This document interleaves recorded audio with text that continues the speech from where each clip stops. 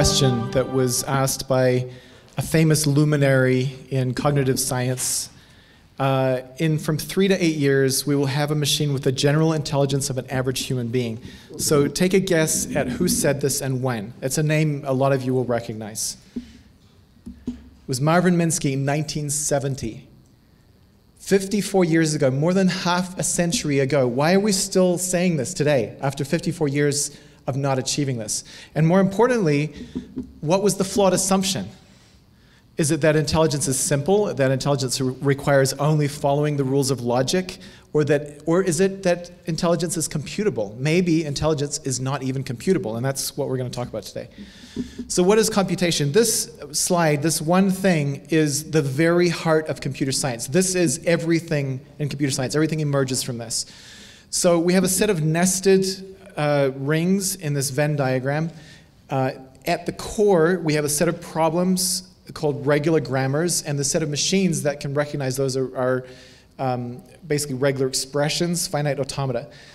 The next larger ring is, is a more powerful set of uh, machines that can do a more powerful, uh, more, they can solve tasks that require more computational power.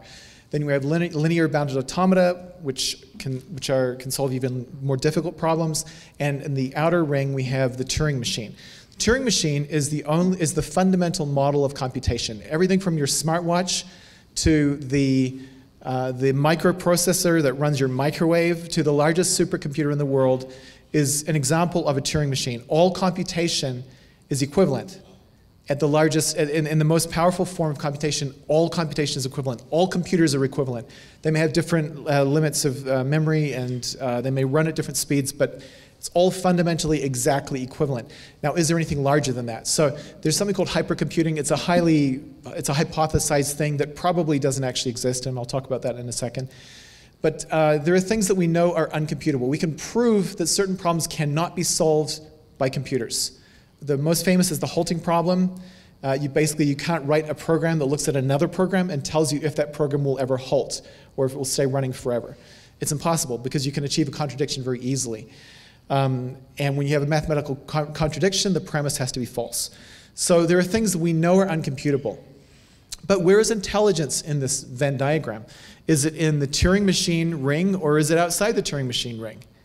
We don't know. Like nobody can answer this question. The, nobody in the whole world, I, I, I claim, can answer this question. So this is really at the core of AI. Where is intelligence? Is it computable or is it uncomputable? We don't know. And actually, um, you know, I say here, if it, does u equal t? You know, if u equals t, that means that everything that's in u that's not in t, there's, not, there's nothing in there, which means there's nothing that's uncomputable that we can solve in this universe. Which means the halting problem, you literally cannot build a machine that will solve the halting problem. Potentially, you cannot build a machine that will solve intelligence if it falls outside of t. So probably hypercomputing is impossible. There's no type negative one Chomsky hierarchy. Um, so basically, type three was at the core, then type two, type one, type zero was the Turing machine. There's nothing larger than the Turing machine. And there's a reason why the Turing machine was given designation zero, because we don't think we can create anything bigger. There's something called the Church Turing thesis that basically equates physical matter and computation.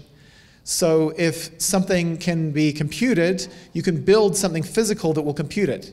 And if something physical exists, you can you can compute that with a computing model on some computing substrate. You can compute exactly what the physical system does. So it equates computation and matter. This is mind blowing. And the church Turing thesis really says if there are things that are uncomputable, they cannot exist in this universe. That's even more mind blowing. So this would mean that there's no more powerful form of computation in this universe than Turing computing, and that the entire universe is computable which means the entire universe is deterministic. So either, there's one of three possibilities here with respect to intelligence. Either intelligence is computable and we can build intelligence with a computer. I think probably 90% of people in this room believe this. Number two, and I've crossed this one out because it already contradicts itself, intelligence is uncomputable and we cannot ever build intelligence in this universe because the universe is limited to what is computable. And we just said intelligence is not computable. So it's not possible by contradiction by the church Turing thesis. Um, and the third option is intelligence is uncomputable, but it originates outside this universe. And it originates from a bigger physics. So the Church-Turing thesis strongly implies this is one of these sorts of mathematical theorems that basically no one can refute. It's kind of like the second law of thermodynamics. Like no one's ever going to disprove the second law of thermodynamics. It, it's impossible as far as we know. So Church-Turing implies that U, U equals T, which means the entire universe is completely computable and you cannot solve uncomputable problems in this universe with the matter we have or the laws of physics in this universe. Statistical inference is not even Turing complete, by the way. So this one slide, this diagram here, shows you everything you need to know about machine learning. Basically, everything, especially in, we, we had some older forms of AI, which was sort of symbolic. Now everything's kind of basically this. We, we're basically doing statistical regression. So you fit a manifold, which in you know one dimensions 1.5 dimensions is a line, basically. You fit a line or a, or a surface to a cloud of points, and then you, you have an x value, an input, and you read off the y value of the prediction, which is where it hits the manifold or the line. And that's your prediction. So everything we do in particularly supervised learning is this form. Everything we do in deep learning is just this. It's a chart. How can a chart be intelligence? Does that diagram have innate intelligence? I would argue it doesn't. There's no intelligence. It's simply a mathematical function. And I believe intelligence is more than a mathematical function. Now you can wrap this with a Turing machine. This is not even Turing complete. This is a very small subset of all the things that Turing machine, machines can do. But you can wrap this in a Turing machine, but you can't get bigger than a Turing machine. So even if you wrap statistical inference with the Turing machine, you're still limited in your computation. So, but intelligence does exist in this universe, so where does it come from? The only thing we can definitively prove mathematically that is non-deterministic in this universe is the collapse of the quantum wave function. And there are probably other quantum effects as well that are non-deterministic. Everything else is deterministic, which means it can be computed, it can be predicted, you can run it as a simulation. Probably intelligence, consciousness, and free will are all aspects of the same phenomenon. Therefore, intelligence, which is non-deterministic, assuming we have free will, which I believe we do, it probably emerges at the quantum level because we, we, we can prove mathematically there's really no other origin for non-determinism in this universe. And so maybe the brain is a quantum radio to our spirits. So this is where we introduce the concept of a soul because that, that's something, a seat of our intelligence that exists outside of this universe.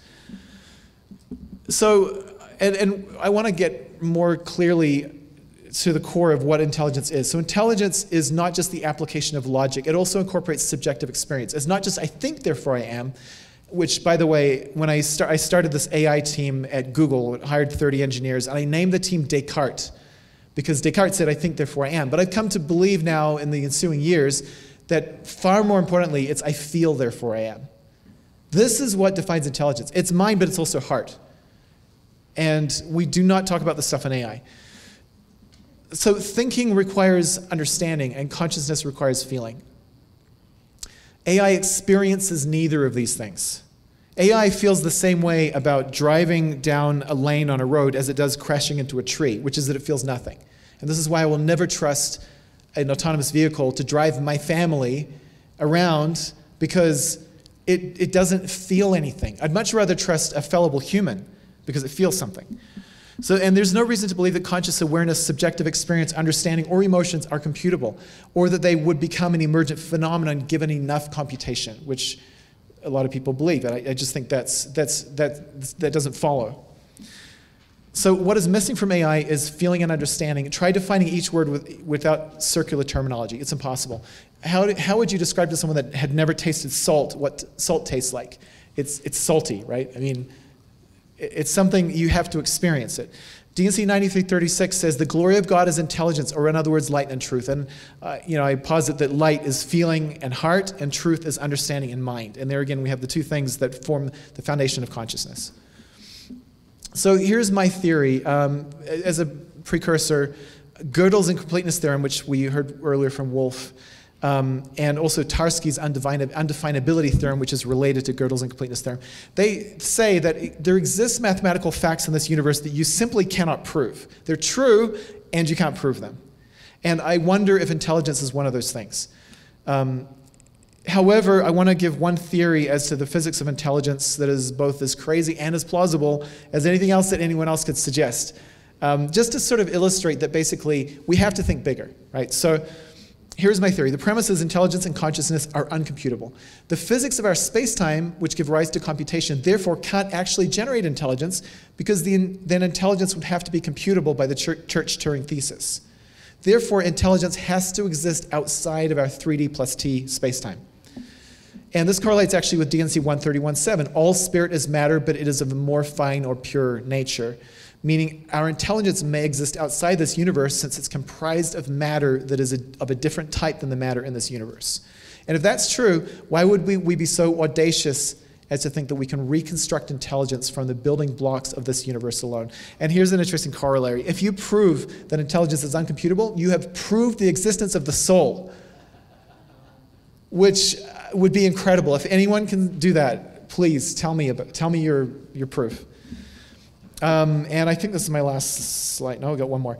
So here's my, my core theory, and I, I, I'm out of time but I'll quickly go, go through this. So the mathematical cross product can only exist in three and seven dimensions because of its connection to the quaternions and the octonions, which are an extension of the complex numbers to four and eight numerical dimensions.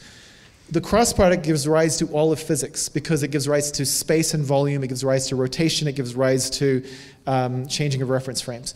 And because three dimensional space exists, I believe that not only can seven dimensional space exist, but it must exist um, because of the, uh, the relation to the rotation groups G2 for the octonions. It's a, it's a Lie group if anyone's a mathematician in here. So adding dimensions expands our degrees of freedom, which means the laws of seven-dimensional physics would be much greater than the laws of three-dimensional physics. Other things might be possible. Maybe there's no speed limit to light. You know, things could work in very different ways. And then quantum effects may be our bridge between three dimensions and seven dimensions. Uh, so here are some open questions about seven-dimensional intelligence. Can intelligence only exist in seven dimensions because it is uncomputable in three? Is God seven-dimensional? And maybe that's what it means by the words, let us go down, when, when the gods came down to create the earth. They came down from seven dimensions to three dimensions. Um, our, three, our we seven-dimensional intelligence is living out our lives as projections into three-dimensional bodies. And a quantum affects the bridge between three and seven dimensions. Um, so that's basically it. Again, I sort of throw this out there as just a way to, you know, we need to think bigger. I think intelligence is much greater than computation. We need to start coming up with theories like this uh, as to what it might be and how it might work. Um, and I'm not saying AI is not useful, it's extremely useful, but it's not intelligent. It's not now, and it may never be. There's my contrarian view. So. Thank you, Luke.